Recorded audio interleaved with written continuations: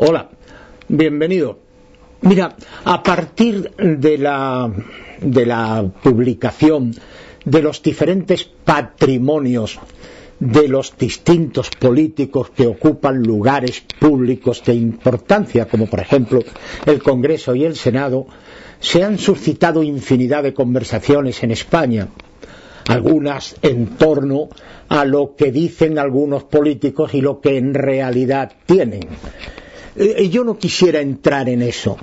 Eh, simplemente que me llamó la atención en una tertulia importante, una tertulia muy importante de un medio informativo audiovisual español, en el que se decía que en realidad ni el socialismo tenía medios ya para sacar al mundo de una crisis, ni el liberalismo tampoco, que ambos elementos habían fracasado concretamente. Yo recuerdo que hace unos días hablamos aquí de eso y te dije que no es que hubiesen fracasado, sino que ambos están inmersos en una problemática social correspondiente a los últimos años del siglo XIX y hasta las, eh, casi el final del siglo XX, pero que hoy las demandas sociales están por encima de las posibilidades de ambas concepciones del mundo.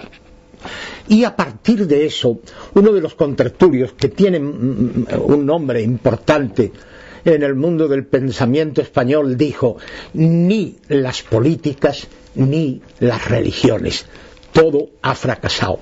Me sentí aludido, porque no es verdad. Es posible que las religiones, puramente religiones, pues no lleguen ya al hombre de hoy. Pero quisiera hacerte una advertencia, una matización. El cristianismo no es en puridad una religión, sino una vida nueva. El cristianismo proclama y predica y pone delante de los ojos del hombre el encuentro personal con el Señor Jesucristo, la fe en Él, la fe en Él, el sentirlo cerca y sobre todo dentro del alma, dentro del corazón. Eso es posible, no es una entelequia, es una realidad. Quisiera no prolongarme en exceso, pero invitarte a leer el capítulo 3 del Evangelio de San Juan. Hay una interesante conversación entre un judío, Nicodemo, y el Señor Jesucristo.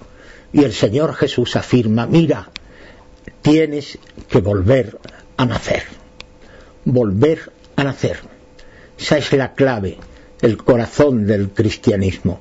Y ese tiene el mismo vigor, la misma fuerza, la misma capacidad de transformación del hombre que la tuvo hace dos mil años, cuando el Señor Jesús dijo estas palabras. Por cierto, el Señor no fundó una religión y se marchó. Sigue con nosotros. Esa es la realidad y la verdad del cristianismo. Te espero mañana, no faltes.